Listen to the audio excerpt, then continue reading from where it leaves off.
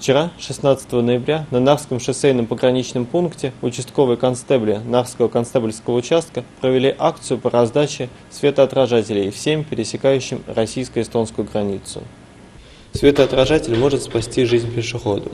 Именно такое название одновременно и девиз был у вчерашней акции. Как рассказал нам начальник полицейского отдела Департамента полиции погранохраны Сергей Андреев, подобная акция проводится уже не в первый раз и является традиционной для этого времени года. Данная акция проводится совместно э, с Мантамент и полицей Переваливамент. Э, каждому, кто заходит или выходит из границы э, Эстония-Россия, был подарен отражатель. И также хотели бы получить от людей, э, знают ли они, умеют ли они пользоваться данным отражателем. Как вы видели сами, здесь на границе многие люди даже не знают, с какой э, стороны отражатель носится и что отражатель вообще может э, спасти жизнь нашим пешеходам. Светоотражатель может спасти вашу жизнь. Спасибо. Сегодня дарим вам отражатель. Хотел бы спросить, а вы знаете, как, куда его вешаете? Да, сзади. сзади. Светоотражатель – это нехитрое устройство обеспечения безопасности в темное время суток. Главное свойство светоотражателя, еще его называют катафотом, отражать в разные стороны улавливаемые пучки света. Данную технологию широко применяют в дорожном строительстве и транспорте.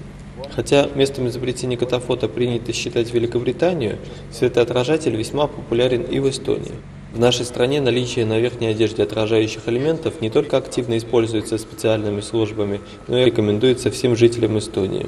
А, данный отражатель очень важно носить в связи с тем, что вы знаете, что он отражает свет, который исходит от автомобиля, и водитель, который двигается а, по дороге, видит пешехода за 300 метров а, до него. И с этой целью он может отреагировать, снизить скорость и не случится дорожно-транспортное происшествие. По статистике, э, когда ввели свето, пользование светоотражательной, э, дорожно-транспортные происшествия снизились почти в два раза.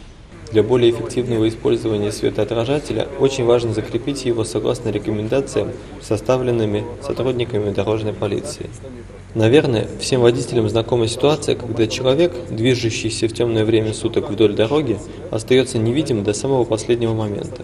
Именно поэтому настоятельно рекомендуется располагать светоотражатель на правой стороне одежды, закрепляя его на 20 сантиметров выше колена. Вы сами сегодня слышали, что все-таки большинство людей э, говорят о том, что светоотражатель нужен. А в дневное время, э, если вы ходите в куртке, его легко убрать в карман, как вы сегодня наглядно видели. То есть около кармана он прикрепляется, 20 сантиметров до колена, э, чтобы было виден э, машину, которая движется по дороге. И в дневное время спокойно можно убрать в карман. Следует отметить, что во время вчерашней акции светоотражатели не просто раздавались, но и непосредственно закреплялись на одежде тех, у кого они все еще отсутствуют. Также проводились разъяснительные беседы о том, для чего нужны светоотражатели. С нового года вступают новые изменения, вступает новый э, закон о дороге, согласно которому э, пешеход обязан носить светоотражатель в темное время суток в условиях э, недостаточной видимости не только за пределами города, но и также именно в городе.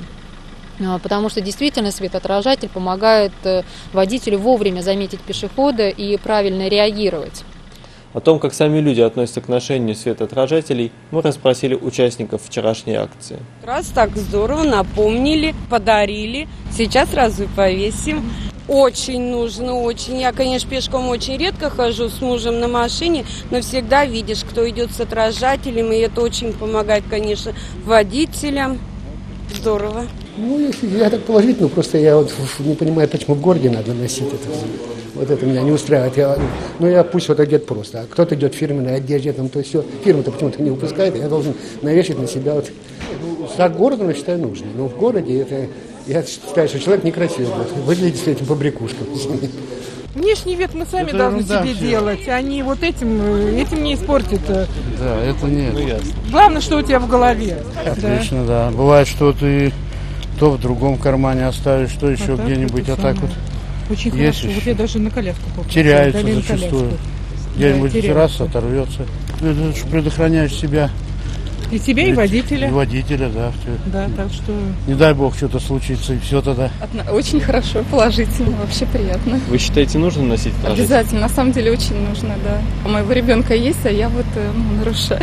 Много друзей из Санкт-Петербурга приезжают и даже берут, ну вот как сувениры, там же не обязательно носить, то есть абсолютно не в курсе, даже наоборот. Я как водитель я тоже знаю.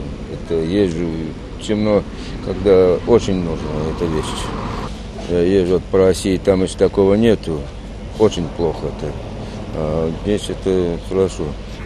Ой, положительно, положительно и просто положительно. Чаще бы такие акции были. Я тем более сейчас как раз на Петровский переходила, думаю, надо же мне отражатель был с другой сумки снять. Вы представляете, прямо как это? Нормально. Я считаю, что это вообще очень нужное дело, особенно, конечно, для детей, для пенсионеров. Если взрослый человек ну, такого возраста, даже как я, да, он еще справляется, как вы видите, в темноте, то вот особенно дети и пожилые люди, это для них это очень важно. Я считаю, что это очень нужное дело. Спасибо полиции, спасибо всем, кто спонсирует это дело. Спасибо нашей эстонской полиции, так как у нас друзья есть в России, и родственники остались, так вот они просят, чтобы мы их спонсировали из Эстонии в России. У них такого нет. Нету.